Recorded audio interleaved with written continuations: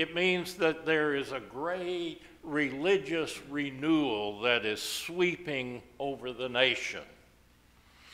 And yet, the daily news chronicles more sordid details of debauchery and duplicity and dishonesty in the life of a nation. And we see paraded before us hate crimes, mass shootings. Polls show that there is a decrease on the impact of Christian conviction upon decisions that we make as individuals and as a society. Does that contradiction disturb you? In a dark moment, one might then ask of the Christian faith, so what good is it? The Common Lectionary, which is used as a guide to many churches, including ours for the most part, for a systematic reading of Scripture throughout the year, has us read passages from the Gospel of John in this time between uh, the resurrection and the ascension of Christ. And in the latter chapters of John, and that's where we are right now. The passages recount the farewell discourse at that Last Supper that Jesus and the disciples heard, had together. For some three years, Jesus had been physically present with the disciples, but the cross would end that presence. With his arrest and crucifixion, Jesus knew that the world of these close followers was about to collapse. Their hopes would be shattered, their faith would be tested. Now, the resurrection would provide a brief time of reunion, but the time would come that Jesus would be gone physically for good. And we read these words at a time when, in the Christian year, we are preparing for the coming physical absence of Jesus Christ. Next Sunday is Ascension Sunday, and that's when we uh, remember that time when Jesus physically was removed from the earth. So, what Jesus told them now must sustain them through some difficult and some frightening times. Although he is physically leaving, he promises to be present in a different way as they walked into this uh, uncertain future to live this new life that they had determined to follow. And we'll understand more about it if we take a closer look at what Jesus had to say. Now, the trouble is that many people today are insulted and they're put off by the notion that we ought to study and dig, that we ought to read and reflect in order to be better Christians. Religion should be a matter of the heart, they say. It's not a head trip, it's a soul trip. The trouble with you preachers is that you always are trying to make the simple, heartfelt, straightforward religion of Jesus to be complicated and complex. Well, the thing is that from what I have observed as a pastor, this talk about simple faith and childlike trust religion totally from the heart and not complicated by the head. That tends to be the first victim when life gets tough. It's not so much that incomprehensible sermons make Christianity different to figure out, difficult to figure out, but it is when you lay life next to Christian claims that we get into a kind of intellectual muddle. A personal tragedy, a natural disaster, some new evidence of human ugliness raises its head, and we begin, then we begin to think theologically, whether we're ordinarily inclined that way or not. Anytime that life makes us ask why, or for the Christian, why God, then you are on your way to wrestling with some of these deepest dilemmas of life. So, Jesus gave us the resources of the Christian faith as his disciples, as he gave to his original disciples. For those times when life gets complicated and when life begins to raise some questions within us. The first of the resources he mentions, is, of course, is love. And you say, wait a minute, no, that was last week's sermon. You talked about love all the way through it. Well, we are in the same discourses as we read the scripture. And Jesus didn't talk about it just once. In fact, whenever we turn to the gospel, love is the common bond between God and Christ and disciples. The motivation for a life well lived is not primarily, if we use the early stages of faith stage development, it's not primarily fear which is the old revival, uh, frontier revivalist method. Fear of eternal damnation, you better straighten up or you're going to shovel coal for the rest of your life in the pits of hell. It's not just benefit, which is positive thinking or possibility thinking or uh, the prosperity gospel. It's not primarily emulation which is the ploy of many to imitate the few entertainers or athletes who may be Christians.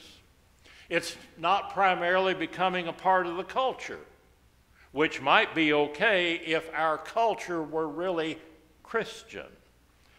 But even a cursory perusal of the daily news adds to that long litany of evidence that even if it ever was, our culture hardly reflects the best of Christian faith. Our response to Christ and thus to God can only be love. And Jesus says here that those who love me will keep my word. That's what I was telling the children a while ago is what's turning our faith on and making it work. That seems to be a fairly simple idea, but it can be at times diluted by what passes for religion. It was not too, too long ago that Robert Tilton appeared again on Christian television. He and the others who pander the prosperity gospel are trying to sell, literally, the peace that the world gives. Uh, I ran across an old article from the Dallas Morning News in the days when the Word of Faith Family Church was in full swing and having full power, that assurance that religion was sweeping over the land up there in Farmersville or no, Farmers Branch. I think that's where Farmersville is another place. Anyway, here's what the article said. I, I kept it because it, it, I thought I could use it for an occasion such as this for a sermon illustration. He says, What finally prompted me to write was from last Sunday's service at Word of Faith. Reverend Don Clowers was preaching the usual sermon on how Jesus died for our wallets. He quoted from the 23rd Psalm He maketh me to lie down in green pastures. I was reading that word green, brother, brother Clower said, and I got to thinking about dollar bills, and the congregation whooped and applauded. Then I got to thinking about $5 bills. And then I got to thinking about $20 bills. And then thinking about $100 bills. And to the congregation's delight, Clowers pulled out a roll of money from his pocket and he began scattering bills all over the chancel and he got down on his hands and knees and just wallowed in the moolah. And, oh, yeah, he shouted, I want to be in the green, Lord. The writer of the article concluded, tongue in cheek, uh, I'm just afraid that some people may call that silly, if not blasphemy. Well, that same message is still being proclaimed in some places every Sunday, if in more sophisticated ways. Now, please understand, these references are not made to defame some variation on the traditional Christian faith. This is not a variation, it has nothing to do with the gospel. The text from John that we're looking at this morning is a case in point. I wonder, have you ever noticed that we live in a society that seems drunk with excess? Uh, we've supersized our food portion sizes and our bodies with them. We've supersized our cars, although uh, the spiral of fuel prices may bring that into review. And we've supersized our houses. Who Wants to Be a Millionaire ran its course and then it returned as Who Wants to Be a Super Millionaire and you know, they've upped the lottery to try to revive interest so that the billboards now have the Powerball winnings in the hundreds of millions of dollars. The newest rides at Six Flags are even more extreme and jerk you around a little bit more than the old ones. And some try to baptize all of that with Scripture in the name of relevance. Nobody who has had and who exercises much intelligence when replied when applied to the whole gospel will take much of that business seriously. But the often not too subtle message is without the world's treasures, which seems valid only in escalating extremity, life is nothing and God has not blessed. And Jesus is saying to those whose world was about to be literally turned upside down, who never would have much of worldly wealth, who would die a martyr's death, he says to them, My peace I give to you. I do not give to you as the world gives. So the theme is love. It's still love, but this particular gospel passage defines it as our love for God. The definition is tied to obedience. If we love God, then we keep His word. It is an act of obedience that a relationship establishes a relationship with God. It is an act of obedience that nourishes that relationship. And without a disposition to keep His word, any sense of meaningful relationship with God is difficult, if not impossible.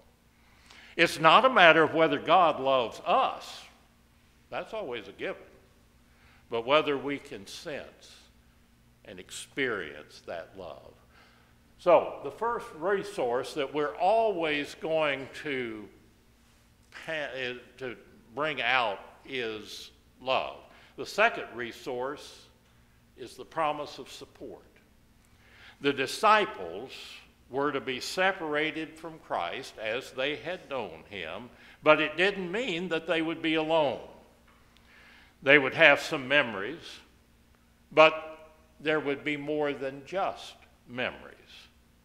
There's a living presence.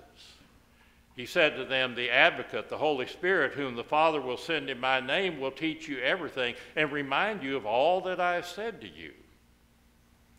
Notice that he, that you don't have to do anything beyond keeping the word to get the Spirit.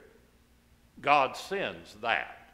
The Spirit will teach you everything and will remind you of all I have said. We believe that Jesus' words are preserved through the activity of the Holy Spirit.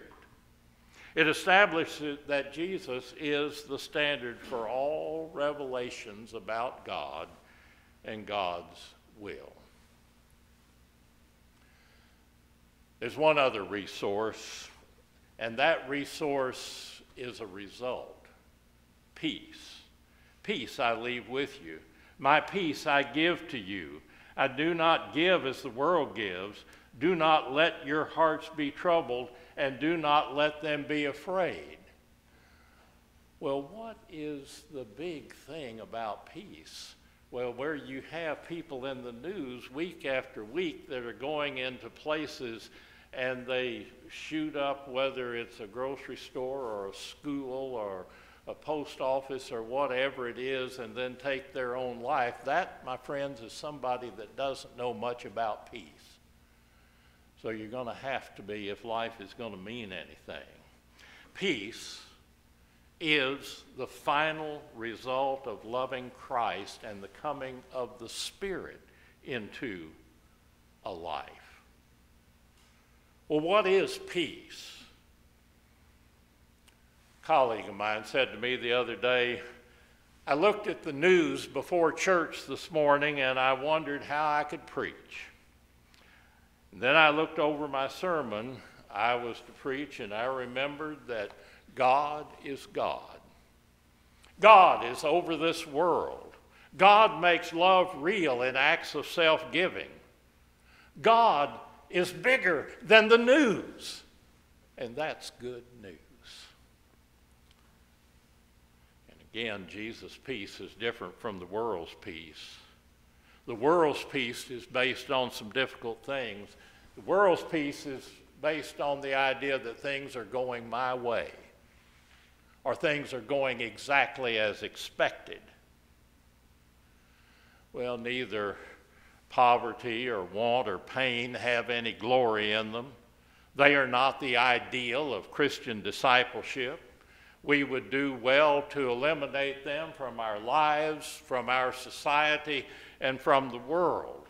But the call is to eliminate these things from all lives, not just ours. The peace that Christ gives is independent from benefits in this life neither pleasure or pain or gain or loss creates or annuls the peace of God.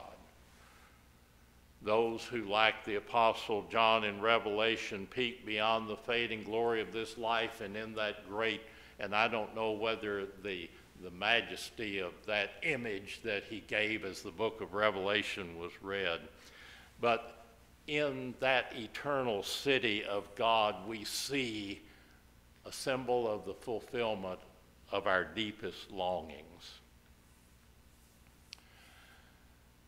The old television series Cheers is in perpetual reruns. There you can see it almost on any day and at most days of many different times of the day.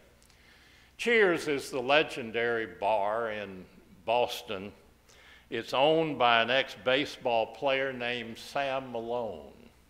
Sam has a lucky bottle cap, and he lends that bottle cap to a young, aspiring, up and coming ball player.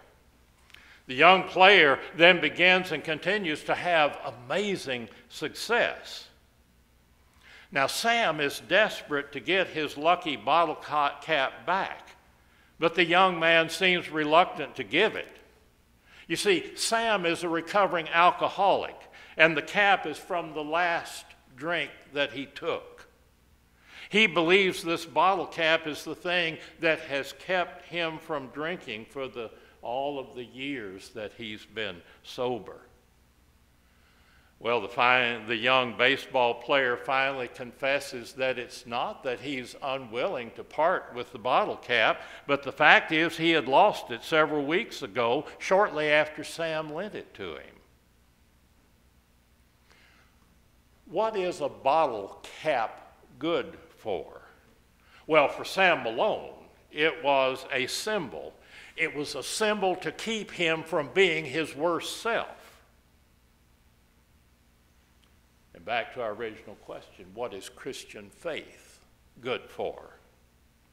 Well, for those who hold it fast, it not only keeps us from the depths of being our worst self, but it gives us power to become our best selves. It gives us power to be what God created in us to be. But this faith is more than a symbol. It is born of a disposition and a decision to keep Christ's word. It is empowered by the presence of a living spirit, and it results in a peace that stands above the fortunes of life in a fickle world. Until that day when God carries us away to some high mountain. And along with the Apostle John, we too get to live in peace in that holy city at last. Thanks be to God. Will you now stand and let us join together in our affirmation of faith using these compiled words of Scripture as we have them? This is the good news which we have received, in which we stand, and by which we are saved if we hold it fast.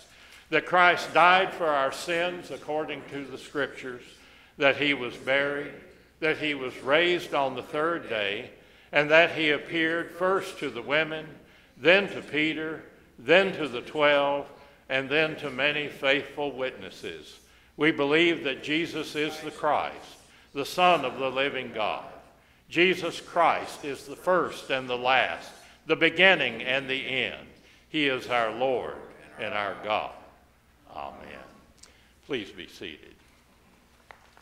And now we come, and Kevin comes to lead us in a time of recognition of two graduating seniors. If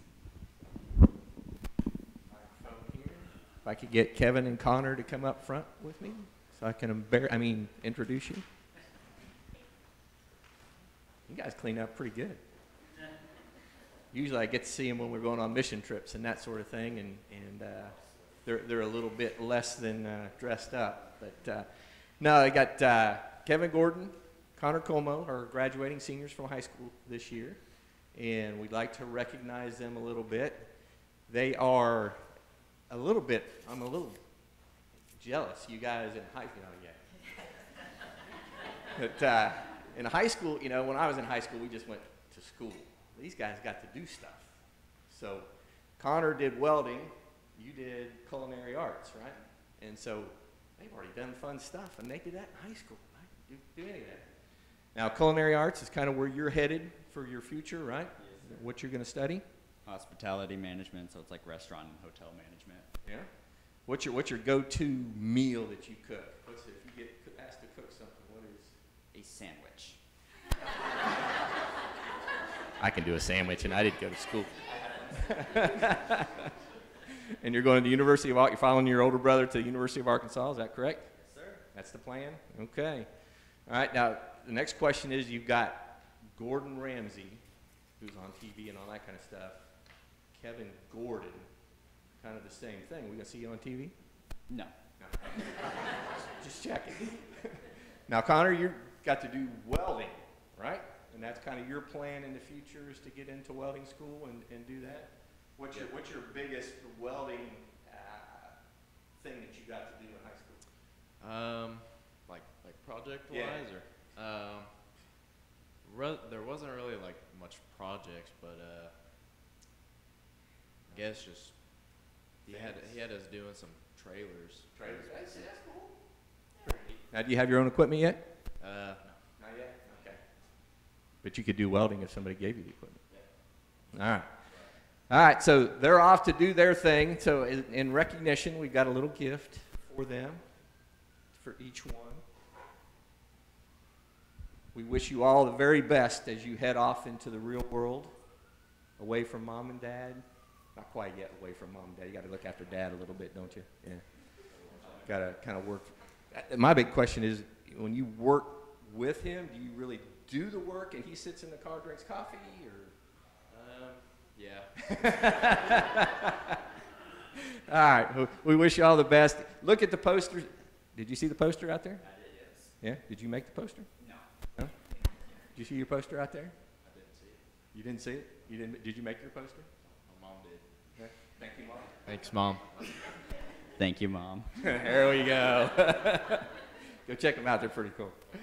All right. Moms did a good job. Let's pray before you, before you go. May God, who began his good work in you, carry it through to completion, enabling you to use your talents to the fullest. May God give you the grace to make wise choices and to be faithful to your commitments, always confident in the support of those who love you. May God bless you with discomfort at easy answers, half truths, and superficial relationships so that you will live deep within your heart. May God bless you with anger at injustice, oppression, and exploitation of people so that you will work for justice, equality, and peace. May God bless you with tears to shed for those who suffer from pain, rejection, starvation, and war so that you will reach out your hand to comfort them and change their pain into joy. May God bless you with the foolishness to think that you can make a difference in the world so that you will do the things which others tell you cannot be done. May your integrity be a gift to the world, and may the Spirit of God be with you always. For we pray this through Jesus Christ our Lord. Amen.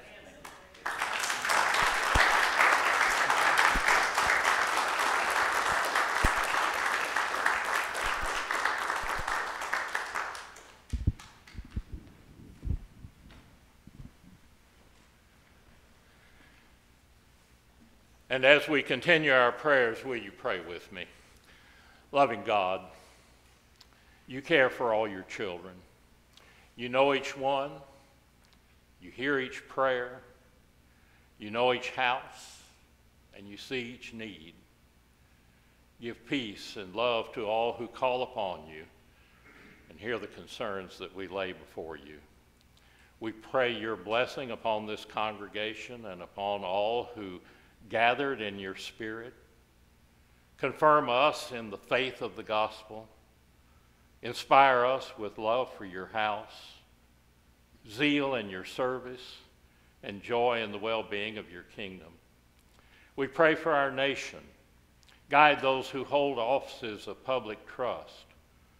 Govern their hearts and minds that principle may triumph over a quest for power that they may fulfill their service for the welfare of the people they govern.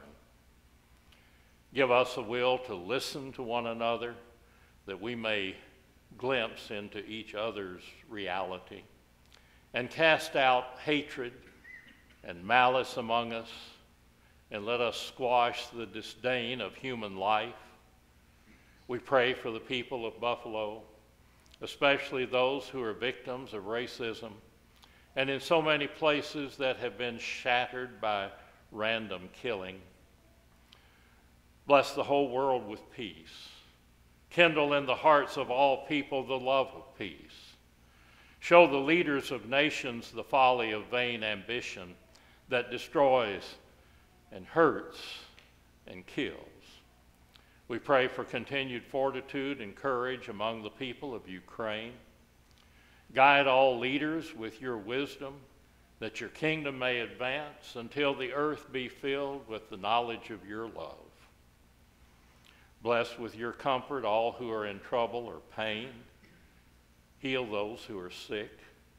Support and comfort those who are dying or those who mourn a loss. Supply the wants of those who are in need and show us how to be agents of your love in fulfilling some of those needs. As we remember those who are victims of weather, who are in the path of runaway fires, those for whom there has been too little or too much rain, for those in Africa who live under want that has come from famine. Hear now in our silence the names and concerns that lie deep within us.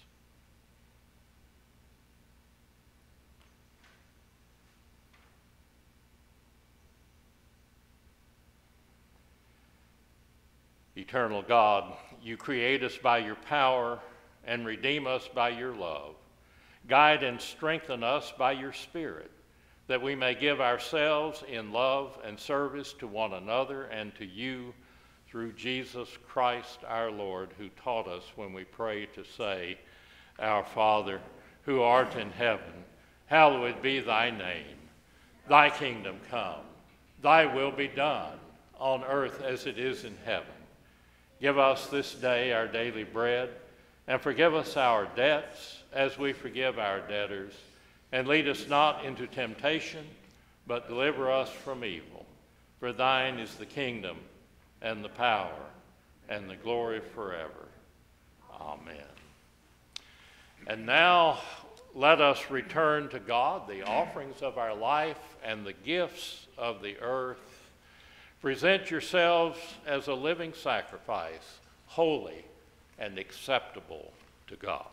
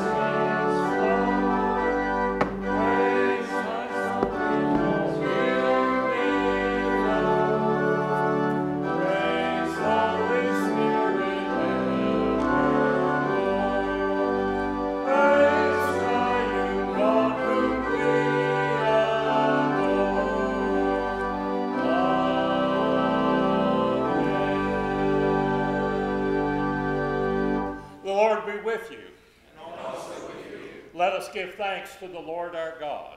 It is right to give our thanks and praise. We give you thanks, great God, for the hope we have in Jesus, who died but is risen and rules over all. We praise you for his presence with us. Because he lives, we look for eternal life, knowing that nothing past, present, or yet to come can separate us from your great love made known in Jesus Christ our Lord. Amen. Our closing hymn is 720.